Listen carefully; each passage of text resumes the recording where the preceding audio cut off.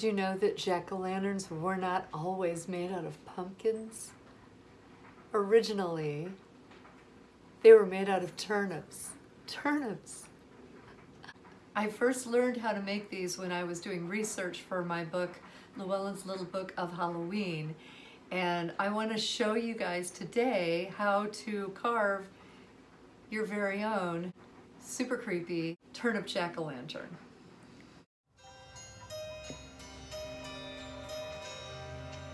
Already carved one today and I have another turnip right here that we're going to carve right now and I'm going to show you guys step by step how to do it. It's a nice way to remember the origins of Samhain and Halloween and recognize the history and the folklore behind the uh, jack-o'-lanterns that we use today. So I had seen a lot of people making these on uh, YouTube when I was researching my book and uh, they all made it sound like it was really, really difficult.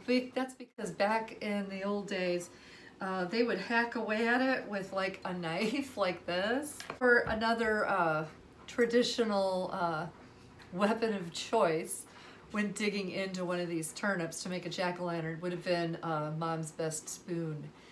People seemed like they were really struggling with these and it was a big hassle, but I just thought they were charming and I really wanted to do it.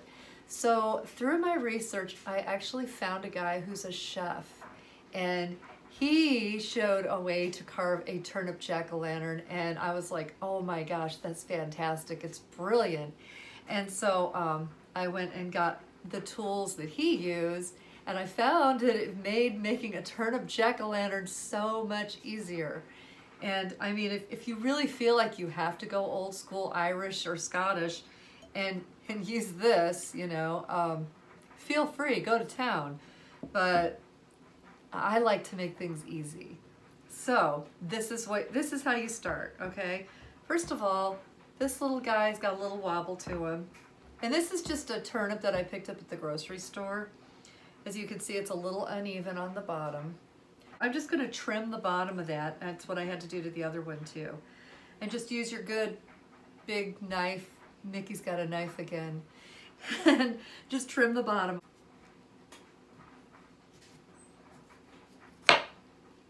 That's probably good enough. Yeah, that actually is sitting pretty straight now. Okay, cut the top off. And it's not the same as when we cut off the the top off one of our jack-o'-lanterns. We know when we do that, we kind of dig around and we make it nice and round and kind of go into it sideways like that, right?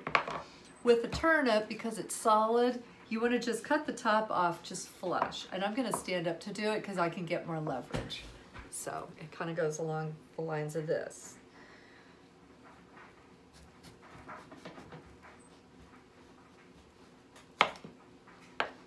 Just like that just a flat, cutting the top off flat like that.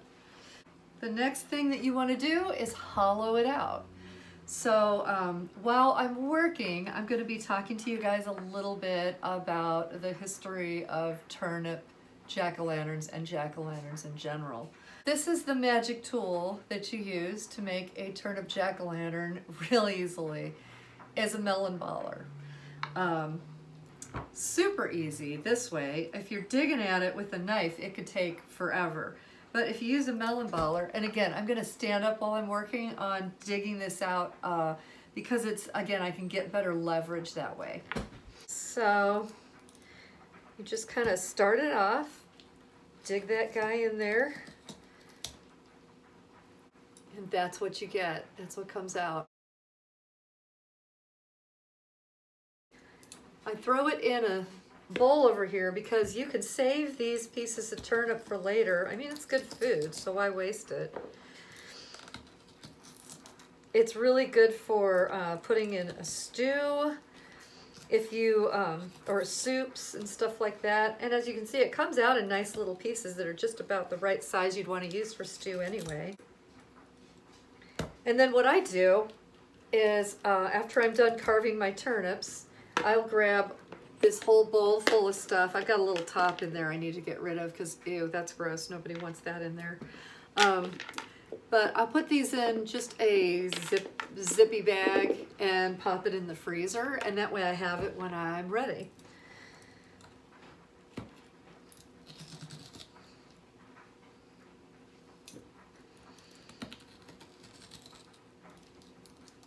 And that is fairly easy really. You know, it takes a little bit of leverage. Like I said, I like to stand up while I'm doing it to kind of get on top of it and put a little pressure down on it like that. So the first thing that I want to talk to you guys about is the vegetable, the turnip. We know that um, back in Ireland and Scotland, a lot of places in Europe, they were making jack-o'-lanterns long before Halloween came to America uh, with the potato famine. And the Irish brought the traditions over from Ireland. Well, we know that uh, they were making jack-o'-lanterns out of turnips. And the story is um, that there was an old guy named Stingy Jack who just annoyed everybody. And basically, I'll just give you the, over, the overview. Basically, he tricked the devil so many times that uh, when he died, the devil wouldn't take him. And uh, heaven sure didn't want him. So when he went back to the devil, the devil gave him a coal so that he could roam the afterlife because he wasn't going to be allowed into hell. And he gave him an empty turnip to carry the coal around in. And so that's where the jack-o'-lantern story comes from. His name was Stingy Jack, and this was his lantern. So that's where the story comes from. Um, and people used to go around with these and they would put them out just to freak people out or scare them. Uh, some people also used it as a way to welcome in spirits of uh, the dead people that you wanted to see, and it would guard against any spirits that you didn't want around, like say for instance, sorry my uh, my low battery light just came on a minute ago, but I think we have enough time to, to do this before, uh, before we run out. So um, anyway, yeah, you wouldn't want a character like Stingy Jack coming around, so that people would put these, they would use a jack-o'-lantern to ward off spirits like that who were undead and not in heaven or hell. So anyway, the uh, vegetable that they used, they called it the turnip, right? Well, I went to the store because I had decided I wanted to make an old world turnip jack-o'-lantern because they were just so cool. And uh, I was I like exploring history of things, especially history of Halloween stuff. And I went to the store to get a turnip, and the turnips were small, you guys. They were like little. They were like smaller than my fist. And I was like, that's not right, because I had seen all of these paintings of people with their turnip jack-o'-lanterns. And it certainly was not those little bitty tiny turnips that I was looking at at the store. So I was really disappointed and I was like, how the heck am I going to do this? Because I wanted to do a tutorial in the book. And um, I was like, what am I going to do? So I noticed on the shelf in the produce section that right next to the turnips were these big vegetables called rutabagas. And I said, well, they look very similar to turnips. So if I can't find any bigger turnips, and I live in a small town, so I don't have a lot of shopping options, I thought, well, what I'll do is I'll just get a rutabaga and try it with that. If it worked with the rutabaga, it'll work with a uh, turnip. So, but I thought it's a it's a backup plan, you know. I went back home, feel a little dejected, and I started to do some research. And I found several articles um, that people had written who were from Ireland. One was someone from Scotland. And um, they were waxing poetic about the old days when they used to make turnip jack-o'-lanterns and how much they enjoyed doing it. And uh, the one guy was talking about um, when, and there goes my dog.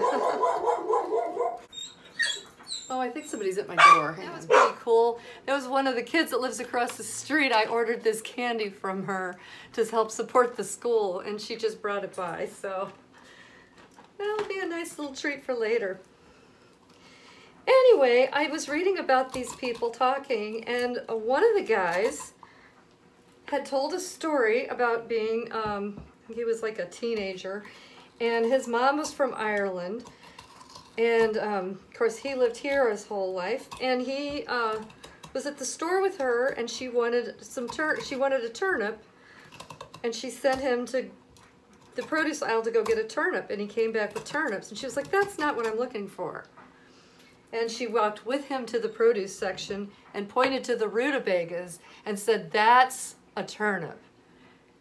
And that's that was my aha moment when I realized those rutabagas that I was looking at in Ireland they call those turnips. So that is what you want to use is a rutabaga if you're in America. So yeah, don't go get a little turnip, get a rutabaga because that's what they're using to make their turnip jack-o'-lanterns. Look at this, how much I've carved out during that short time that I was working on this while we were talking. I've gotten quite a bit done. So yeah, as you can see, it doesn't really take that much. I'm almost done actually. I just want to get the walls of this a little bit thinner so it glows really nice. And then I guess I need to decide what side I want to put the face on. The sunlight's streaming in and it's shining in here and I can kind of see it's glowy on the bottom. So I know I've gotten it pretty good actually. I think, I think this side looks the best. It's kind of a little bit smoother and everything. Now that sunlight's really coming in. I hope that's not going to totally screw this video up. There. Anyway, um, the side that the face is going to be on, you want to make that just a little bit thinner maybe, you know, just to make sure. So I'm just going to kind of scrape it a little bit, just to kind of get it good and thin. And that is all. It's all in there, so I'm just going to dump it in there. Okay, we have our turnip and we are ready to put the face on. So one of the things that I like to do is just kind of sketch a little face on here just so that I don't get let it get away from me. So I'm just going to put a. am uh, just going to make him kind of, let's see. I'm going to give him kind of a scary looking face because these are so creepy looking. Now, the turnips that I get, as you can see, it's, uh, you can kind of see how it's flaking off a little bit. There's, these are like covered in wax or something because I think you're supposed to peel these before you cook them. Uh, so it's kind of like there's a wax coating on it.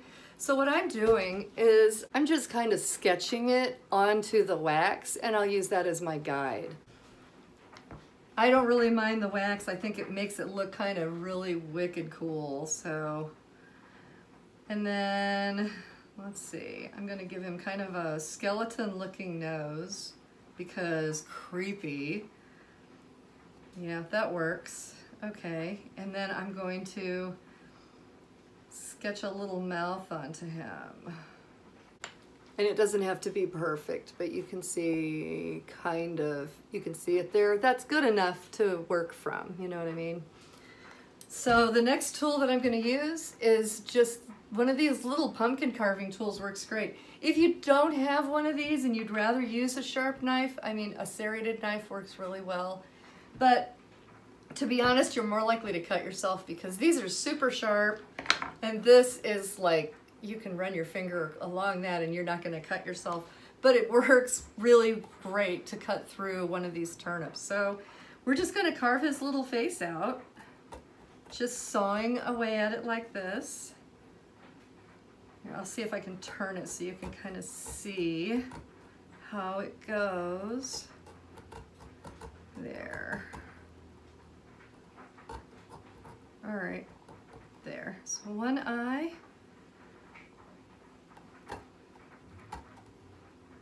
Oh. See, I looked up at you guys and then I kind of, I kind of got off track, but I can fix it there.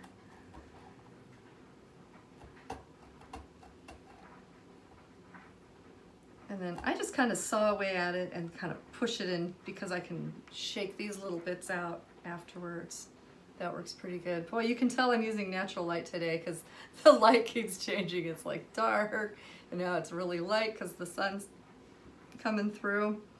It's super windy out today and uh, the uh, all my Halloween decorations are just being totally messed up out there.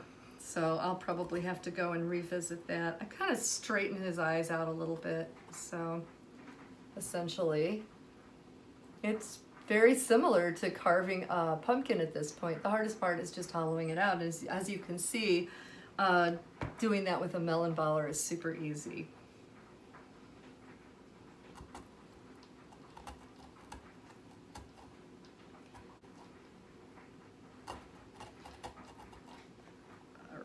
There's one side of his nose, and here's the other side of his nose. Had to knock out his little septum there. He's looking pretty good, I think. There's one in uh, a history museum that you can see, and I'll probably throw a picture of that up here on the video so you guys can see it. It's pretty cool, and it's like a really old example of a uh, turnip jack-o'-lantern. There, I just kind of carved, carved his little mouth out. Pull that little bit out. He's got kind of a crooked little smile. I think I want him to have teeth though. I think I'm gonna give him some kind of skeleton-y looking teeth. He's gonna look kind of like, kind of like Jack the Pumpkin King, I guess. Or the Turnip King, I don't know. Now when you light these, you can use a regular candle if you want. Um, back in the old days, they would use like an old candle stump, you know, that they had. Once the candles would get super low, um, sometimes they would melt them, you know, and make new candles out of them if they were being really thrifty. Um, but that's that was the perfect size to fit inside of one of these little jack-o'-lanterns. Um, but, you know, these days, I like a little tea light. They work really great. Um, the only thing is, if you want to go traditional and use a real candle in your turnip jack-o'-lantern, you put a candle in your uh, in your pumpkin jack-o'-lantern, it starts to kind of smell like pumpkin after a while, right? Well, a pumpkin is quite a bit larger than a jack-o'-lantern, and a little candle can put off some heat. So what I will say is, if you don't like the smell of cooked turnips, you might want to use one of these little electric tea lights instead because when you put a regular candle in these, they start to smell a little bit like dinner. I did find though, that if you put these with electric tea lights, I actually left mine outside the, the uh, year after I wrote the book of Halloween, just to see how long they would hold up, you know, before they would start to turn to something you didn't want around anymore. And with the cool weather of October in the Midwest, it held up pretty well. I want to say it lasted a couple of weeks. Ta-da! What do you think? He looks cool, right? The lid. Okay, so this one has been burning back here. Let me grab him. The top of this, I put a little hole in it it's a like a little chimney. That way the heat can rise up somewhat and it will help it last a little bit longer if you decide that what you want to do is to use real candles in these. So I'll show you the easiest way that I came up with for doing that. Take your little lid and as you can see it has kind of a natural, that's where the top was. There we go. I hope you guys can see that. Let me bring it back a little bit just kind of do it the way, kind of like the way you would a, on a regular pumpkin, but really I'm just kind of scoring it a little bit. And then grab your melon baller and kind of finish the job.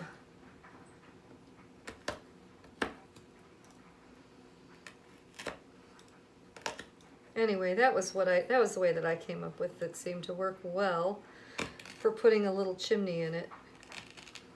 And there we go. Now that one's got a little chimney too. Perfect. And there it is. So let's put a candle in this guy and um, and then just light it. Turnip jack-o'-lantern. How cool is that? All right, so I'm gonna take you guys into the bathroom like we always did when we were little kids and we found something that was cool that glowed in the dark, all right? We're gonna go into the bathroom because that's what we do. Okay, here we are in my bathroom. all right, are you guys ready for these? Because they are so cool. Seriously. I love these. I mean, those are definitely creepier than a pumpkin, I think. I love these guys. It was a dark and stormy night. I guarantee these look super creepy sitting on your shelves or on your porch uh, for Samhain or Halloween or both. I like to celebrate both. This was really fun. And uh, yeah, go to the store and see if you can find a rutabaga if you're in America. Or if you're in Ireland or Scotland, you already know that it's a turnip there, right? Some people will put like a little string through and hang them up. I worry that the heat, well, it's probably not enough heat that it would be a problem. If you, if you did it just right or maybe used a wire, you could hang these up. But again, if you were doing that, I would recommend using maybe the tea lights instead just for safety. But there you go, turnip jack-o'-lanterns. I hope you guys enjoy them. And definitely try them at home. It's, it's, it's really worth it. They're so much fun. I can't stop I can't stop looking at them in the viewfinder, you guys. They look so cool. They're very haunted. Make sure that you hit like and subscribe to my channel. Ring the bell so that you'll get more of these videos. Uh, who knows what I'll be sharing next time. Thanks again for joining me on this haunted journey of carving a turnip jack-o'-lantern. Thanks you guys so much and uh, I will see you next time. And remember, as always, to be your magic.